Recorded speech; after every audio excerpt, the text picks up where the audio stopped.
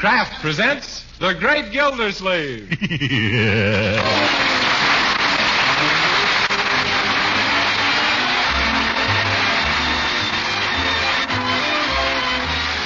The Kraft Cheese Company, who also bring you Bing Crosby every Thursday night, present each week at this time Harold Peary as The Great Gildersleeve, written by Leonard L. Levinson.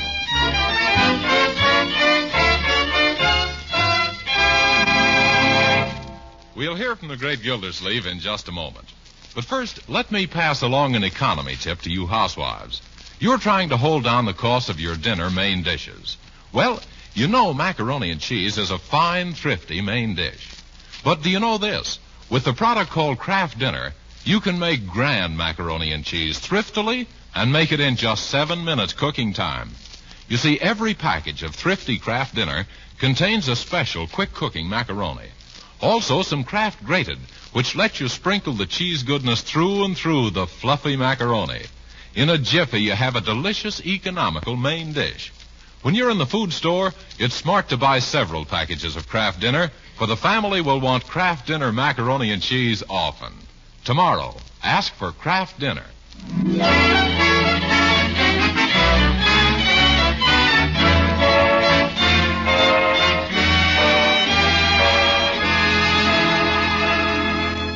And now let's join our friend, the great Gildersleeve, who's waded through his morning paper and his morning milk and is now struggling through his morning mail.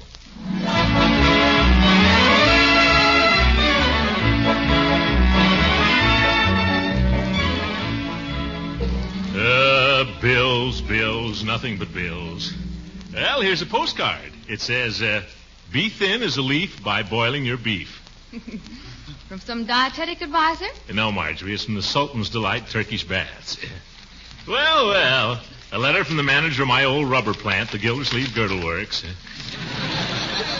What do you know? It's been converted into a factory to repair barrage balloons. Gee, that certainly is a big change, isn't it, Uncle? Oh, not much, Leroy. After all, they're still putting blimps into shape again. or am I stretching things a little? What does he write, Uncle Mort? Uh, he says they've made the mistake of inflating a big balloon inside the factory. Jeepers, did it cause any trouble? I'll say it simply raised the roof. oh, here's what I've been waiting for. It's from the State War Savings Administrator. The pins and the stickers I sent for. Uh, here are your pins, children. Oh, this is cute. Yeah, what's it for, Unc? Well, I've been investing part of the income from your estate in war bonds and doing the same with my income. Now, we're all full-fledged members of the 10% Club. The 10% club? What kind of a club is that? Uh, Leroy, it's the club that's going to help give the Axis a beating. Look, they sent us stickers to put up in our front window, too. Oh, yes.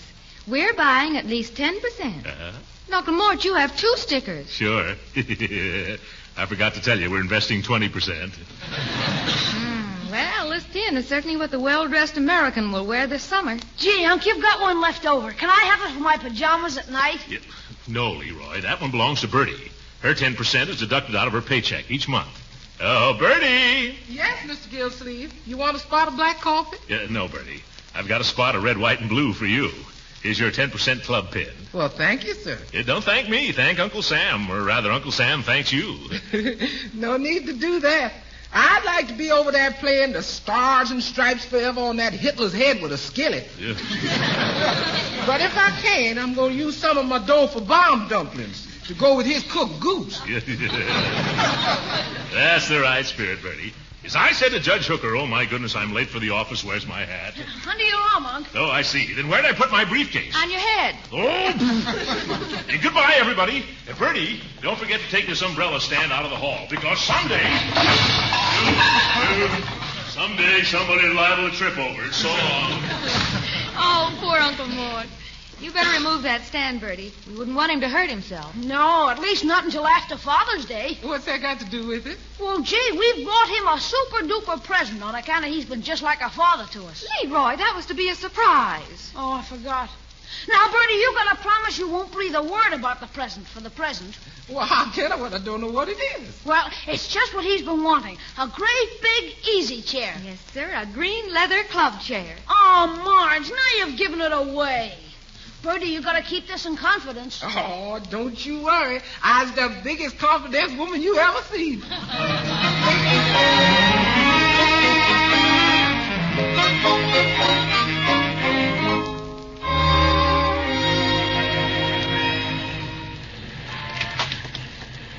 Hello, stranger. Oh, Schlepperman. Uh, welcome to Schlepperman's Overstuffed Furniture Store. And is this store overstuffed with furniture? Well, Sam, how are you? Physically, I'm in the pink. Financially, I'm even more so. I'm in the red. You... What can I do for you if I'm not being too continental? Oh, really nothing. I just thought I'd drop in and browse around. Oh, go right ahead. Everybody's doing it. Business has been very browsy lately. and if you don't see what you want, just remember. Can I help it if my stock is monotonous? I saw a nice display of leather club chairs in the window. That's why I came in, Sam. I was sort of daydreaming. You know, with Father's Day on Sunday. Wouldn't it be nice if I were a father? That's a little short notice. I don't think you can make it. Yeah, I know that, Slep. Marjorie and Leroy are fine children, but isn't it too bad I haven't any children of my own to buy me one of those chairs? I suppose your kids are pretty good to you. oh, sure. All eight of them. They're so good to me on Father's Day that I'm broke for the rest of the month. Eh, You mean they buy you a present and then charge it to you? Oh, no. They borrow the money from me beforehand. Yeah. Look, Gildy, if you had kids, they'd do the same thing. So why don't you pretend you have a son and that you're him and he wants to buy you a nice chair? Go on, don't be stingy with the boy. Now, don't you go to work on me, Schlepperman. I already have a soft spot for that brown leather club chair. Yes, and the vice versa. Eh, What do you mean? That chair has a soft spot for you. It was just made for you. Look, extra wide seat, big soft cushion, heavy legs. You, are you describing the chair? I'm not so foolish I should insult a customer. Go on, sit in it once. It's free. Yeah, all right, Sam. Yeah, certainly looks cozy. Yeah. Uh, this is like floating in the ocean, only not so wet. Eh, How much do you want for this chair? Uh, Sixty-seven fifty, and that's my rocky bottom price. But Sam, this chair hasn't got a rocky bottom. You got me. Sixty-five. Uh, Fifty-five. Oh no, you can have one of the red ones or a green one for fifty-five. But the brown one costs me more. Uh, Why is that? The manufacturer has a whim. Yeah. But I don't like green or red chairs. They remind me of traffic signals, and that makes me mad.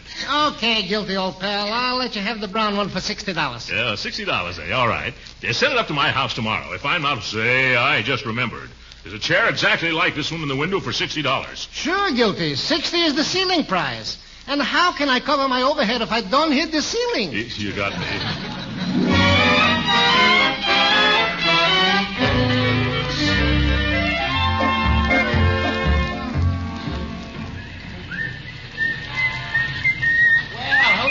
hello there, Gildersleeve. Well, hello, Judge Hooker. This is my sister Amelia. Amelia, this is Throckmorton P. Gildersleeve. Oh, I'm glad to know you, Mr. Gildersleeve. Well, this is a pleasure indeed, Miss Hooker.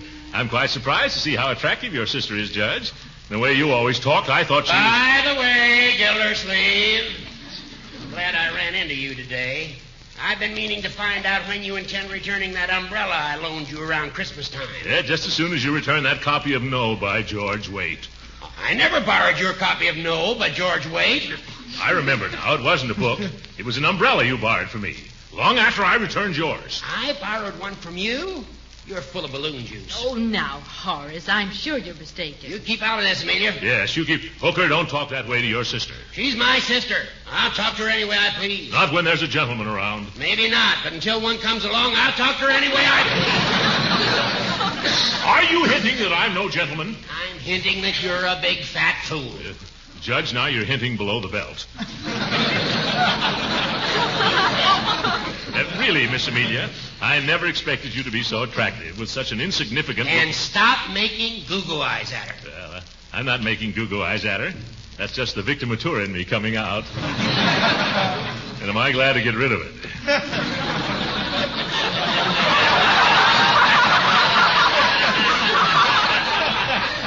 goodbye, Miss Amelia. I hope I see you in better company the next time. You better return my umbrella, you deadbeat. Oh, sh- quiet, Horace. My goodness, let that nice Mr. Gildersleeve keep it. You've got two umbrellas in the closet downstairs. Oh, no. Oh, yes. One with a gold handle and the other with a broken rib. Oh, great Scott. Well, what's wrong? That broken one is Gildersleeve's, and the gold handled one is the one I loaned him. Well, Horace Hooker, shame on you. Now, you must do something to make up for the way you've insulted Mr. Gildersleeve. Well, maybe I'll buy him something for his birthday. It's the 21st. The 21st? Well, that's Sunday. Okay, then I'll send him a postal card. Special delivery. You'll do nothing of the sort. Now, you come with me. Where are you going? Over to Obler's department store to buy Mr. Gildersleeve a birthday present. I saw the most comfy red leather club chair in the window this morning.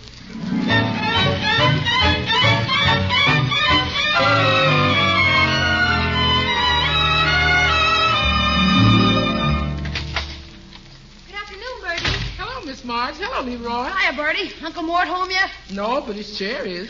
Oh, dear. The salesman at Phelps and Fowler's promised they wouldn't deliver it until tomorrow morning. Well, let's hide it someplace till then. How about your room, Birdie? My room? Why, it's so small I have to do my setting up exercises sitting down. Even have to open the window to throw my chest out. Well, let's see the chair. Oh, that's not the right one. No, this one's brown. And we bought a green one. Oh, jiggers, Uncle Mort. Dear, what do we do? I'll sit down on a chair and you children sit on me and that'll hide it. Is anybody at home? Well, do Mother answer if you're not. Oh, there you are. Oh, hello, Dottie. We thought you were Uncle Mort. Oh, now, how could you make a mistake like that? I don't look anything like your Uncle Mort, even in these slacks. Or do I? Well, look at that pretty chair. We bought it for Uncle Mort for Father's Day, and it came a day too soon, and it's the wrong color. I'm, just petrified that he'll come home any minute and find it. Well, then look, why don't you bring it over to my house and keep it there until you can change it? Oh, well, thank you, Dottie. I'll phone Phelps and Fowler from there and ask them to bring the green one. Come on, Leroy. Let's, let's take it out the black chair. That must be your uncle now. Now, you folks hurry. I'm coming. Save electricity. How do? I'm from Phelps and Fowler. I got a green leather chair for Mr. Gildersleeve. Man, that's service. Sit it right here in the hallway. Okay. Will you sign for it, please? Can I just initial it? Certainly. All right. BLC. That stands for Birdie Lee Coggins. I better write that underneath. Now, you go over to the Dobson's house next door and pick up that brown chair that was brought over there by mistake. Well, this is the first I've ever heard of a. Uh-oh, here comes trouble. Oh, good afternoon, Birdie. Uh, hello, Mr. Gilsleeve. Uh, excuse me a moment. I'm just going to show this gentleman where the Dobsons live. Just walk this way, mister. Sure. Uh, he couldn't walk the way Birdie does to save his life. now, what's this blocking it? Why, it's my chair. Oh, that Schlepperman. I told him I didn't want a green chair. Wait till I get hold of him. Of all the stupid mistakes, sending me a green chair when I distinctly said hello. Is this Schlepperman? It ain't Joe Louis. Sam, this is Gildersleeve. You know that brown chair you sold me? Yes? I just arrived home and found it here, and it's green. There must be some mistake. Yeah, I'll say, and you better come right over and correct it. Okay, Gildy old friend. I'll be there in three sixths of a jiffy. But I can't understand it. That chair is not supposed to turn green until next spring. Yes, yes, yes.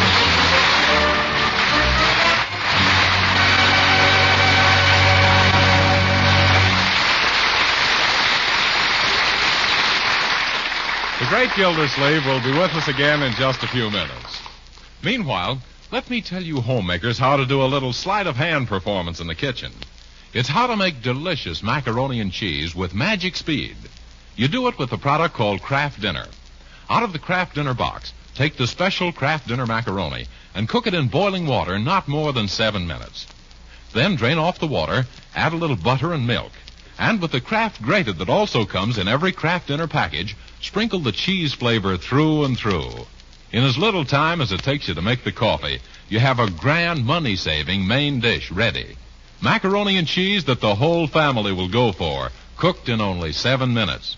It does seem like a sleight of hand trick, doesn't it? Well, get set to do this kitchen magic real soon. Tomorrow, ask your food dealer for Kraft Dinner. Better get several packages because the folks will love Kraft Dinner macaroni and cheese.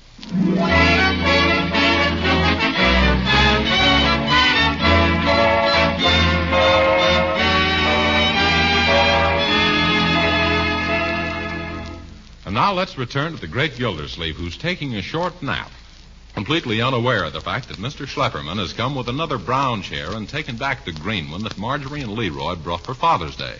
Right now, his niece and nephew are returning from Dottie's house.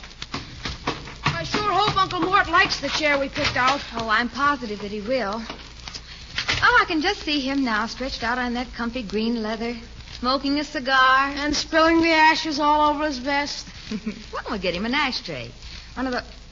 Leroy! Do You see what I see? You mean that brown leather chair? We just got through hauling it over to Dottie's, and then I saw the delivery man take it away. He must have brought it right back here. Well, let's get it back to Dottie's before Uncle Mort sees it. Oh, that's the front doorbell. Come on, brother, out through the kitchen. Birdie, someone's ringing the bell. If this keeps up, I'm going to be worn down to a shadow, size 42. Hello there, Birdie. Hello, Judge Hooker. I've got a little surprise for Mr. Gildersleeve. Oh, what, you two? Yes, look. You mean that that red leather chair? Yes. Now, I don't want you to breathe a word about it to a soul. Who, me? Don't you worry. Longside of me, the Sphinx is just another Gracie Allen.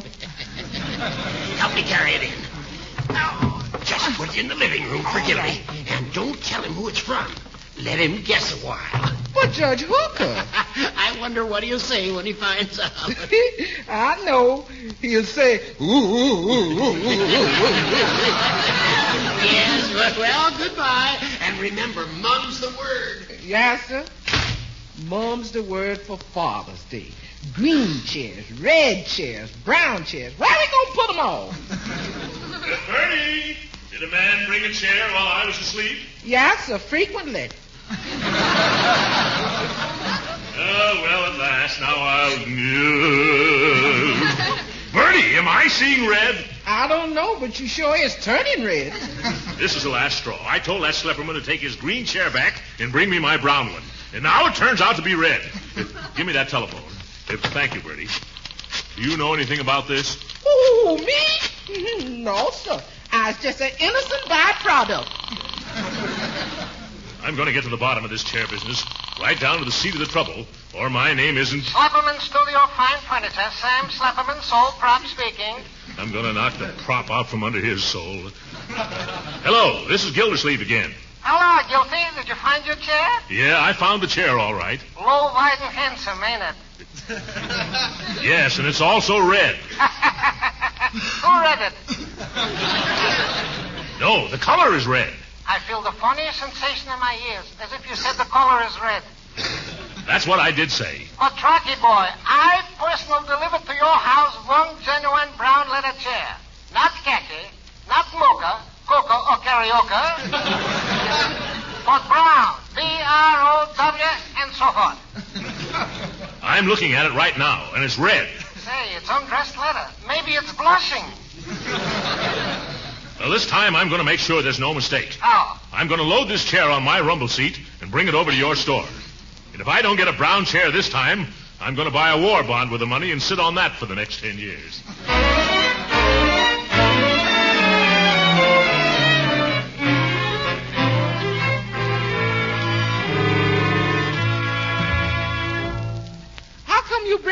This chair? Lady, when I took this brown chair back to Phelps and Fowler, the boss told me it ain't our chair at all. Well, then leave it here, mister. Chairs has been floating in and out this house like a flood in a furniture factory. Okay. Yeah, there you are. Bye. What we ought to do is give 'em all to the government. Three chairs for the red, white, and blue. Birdie, I just found I made a mistake. Mr. Gildersleeve's birthday is July 21st, not June 21st. yeah, but you needn't to rush back to tell me. I knew that all the time. No, no, I came back to get that chair. I'll just take it home and keep it there for a month. Well, you might as well, well, 'cause chairs is the mostest thing we got plenty of. Thanks. Now remember, we're still going to keep it all a secret. Don't worry, I'll zip my lip. Thank you. I've got to hurry so I won't run into Gildersleeve. Funny. I guess my eyesight isn't as good as it used to be. I'd swear this leather looks a lot more brown than it does red.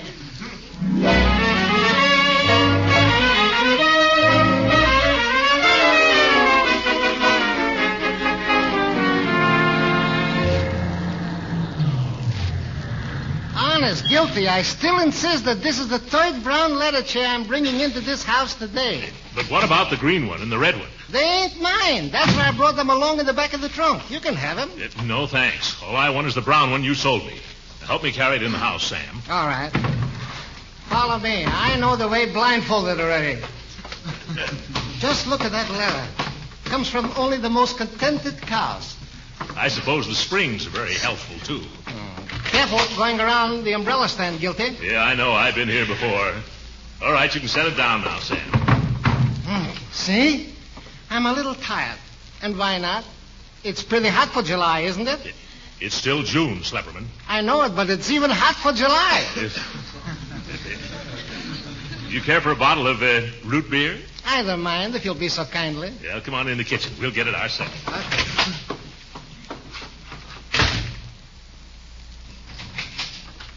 Gee, where is everybody today? Seems as though. Oh, for Pete's sake, how did that brown chair get back in here again? I bet that old Dottie hasn't sense enough to leave it over at her house. Well, there's nothing for me to do but drag it back next door again. Next time I'm going to attach an outboard motor to it. Come on, Cher, let's go. No, no, Sam. I keep telling you. Those red and green chairs are not mine. But Gildy, what happened to the two other brown ones? I don't know. You can see for yourself that I've only got that. Where's the chair we brought in here just now? Why ask me? I was in the kitchen with you drinking. Root beer, remember? That's right. Let's look around. It couldn't have walked off, could it? I don't know. Maybe it was a discontented cow after all. By George, I've heard of disappearing beds and fading wallpaper. But this is the first time I've ever seen a vanishing club chair. I wouldn't have believed it if I hadn't seen it with my own eyes. And now that I don't see it, I still don't believe it. It's nowhere around here. There's only one thing to do. Hand me that telephone. Here you are. What are you going to do? Call the police. A good idea. The lowlife who did this should get the chair. Should. He did.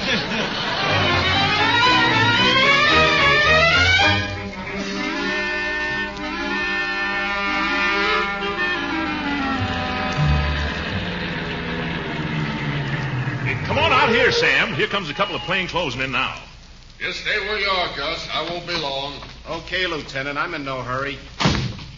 Uh, are you from uh, headquarters? Yes. Which one of you gents is Throckmorton P. Gildersleeve? A fine detective. Him, of course. Oh. Well, I'm Lieutenant Miller of the burglary squad. I was on my way to the station when I got a radio call to stop here. What's the trouble? Uh, great big leather chairs. They do tricks. Yeah. Tricks? What kind of trick? They keep changing colors, rushing in and out of here, disappearing into thin air. Yeah, look, mister, you don't need a detective. You need glasses. Oh, no, no. He's had a couple of glasses already. Uh-huh. Yeah. But it was only root beer. No. Lieutenant, you don't understand. If somebody stole a chair right from out under our noses while our backs were turned. Yeah, it sounds impossible. Maybe, but this is a case where the truth is more than fiction, stranger. Can you describe this chair? Uh, let me see. It had a zoot seat With a sack back, and a stuffed tuft. and it sold for 60 bucks. Now, come on, cut out the horseplay. What was the style, color, material, and size? It was a brown leather club chair, the same size as me, a 48 stub.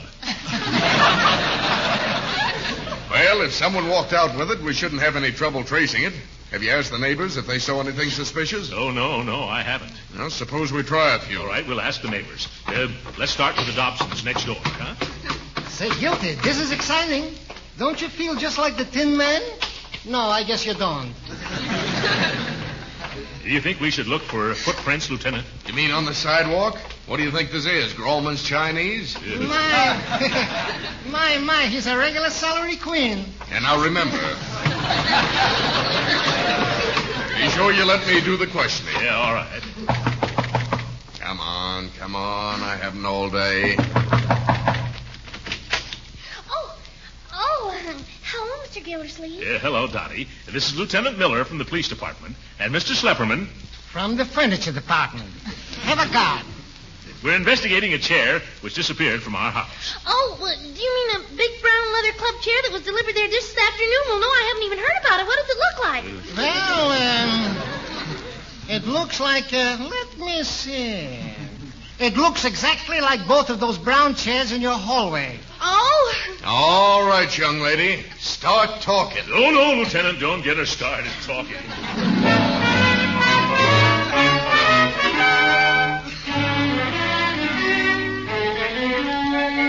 and so you see, I'm really innocent, and I never did anything against the law except one time I kept talking to a streetcar motorman, and he ran into the end of the line. you quiet, please? I wish they'd ration her gas.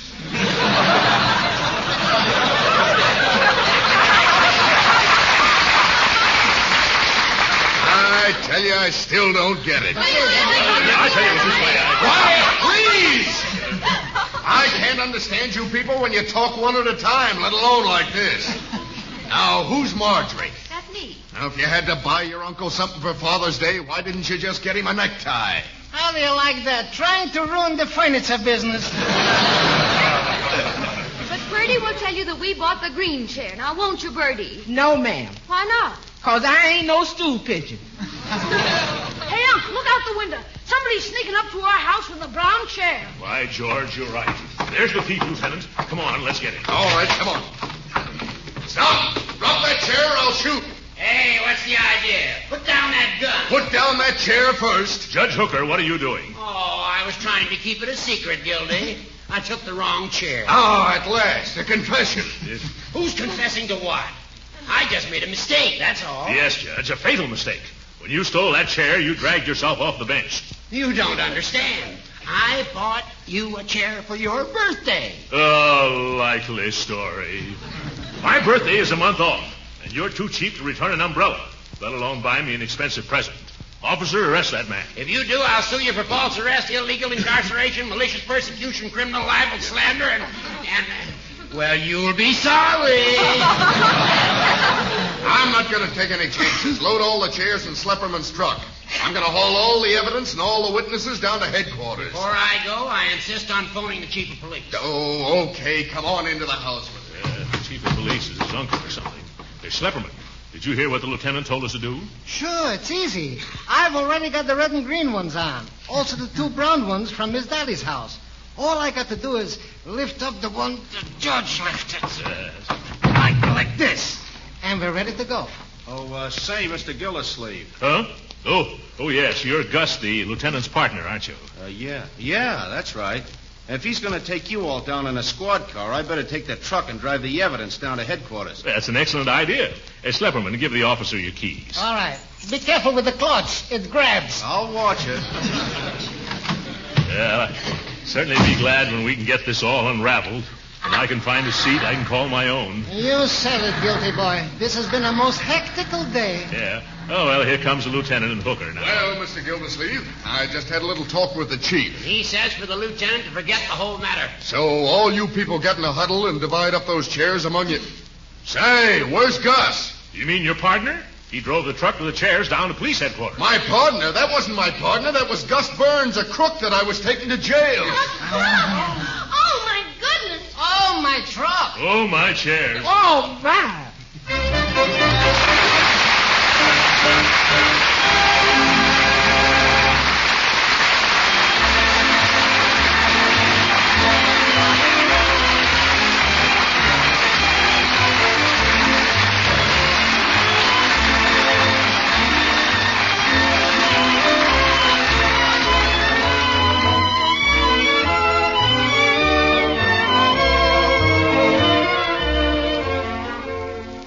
Lieutenant, what I can't understand is that you letting that chair snatcher sit in that squad car unguarded. Well, I had him handcuffed to the wheel. I can't imagine how he got away. Did he ask anyone here to give him a key or a file? Oh, no, no, I, no. No, sir. The only thing the man asked me for was a hairpin. Oh! Good night, folks.